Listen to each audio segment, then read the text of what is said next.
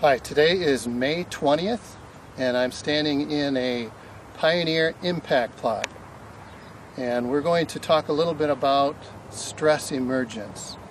And stress emergence is a measure that Pioneer uh, characterizes their plants by looking at the probability of whether or not a plant will emerge. Let's take a quick look.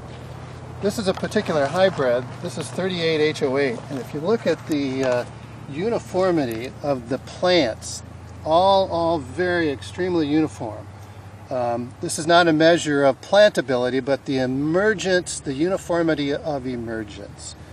Um, this is a strong emerging plant. This would have a stress emergence score of 6. We've just come from a plot that had a hybrid that I showed you stress emergence, uh, very strong stress emergence. What I want to show you now is a hybrid that has what I would say is acceptable. And that means that under stressful conditions, which would be cold and wet, we could see a few plants that emerge a little more slowly. Here's a good example. Here's a here's a, high, a plant that's a pretty strong emerger next to one that's a, struggling a little bit more. You see actually a little bit of a gap here.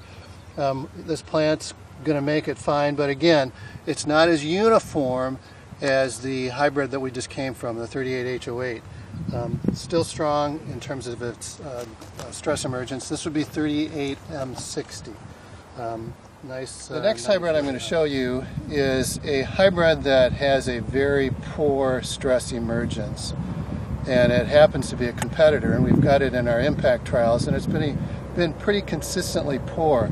And as Jeff uh, kind of scans across this particular area, you see that there's very, very poor emergence. Um, plants are struggling to get out of the ground. Um,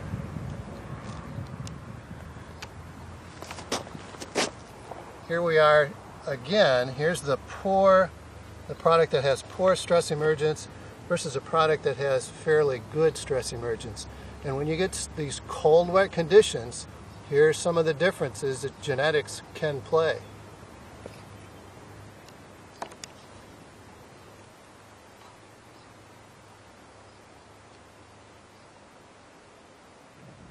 All right, again, here's the, the difference that genetics can make.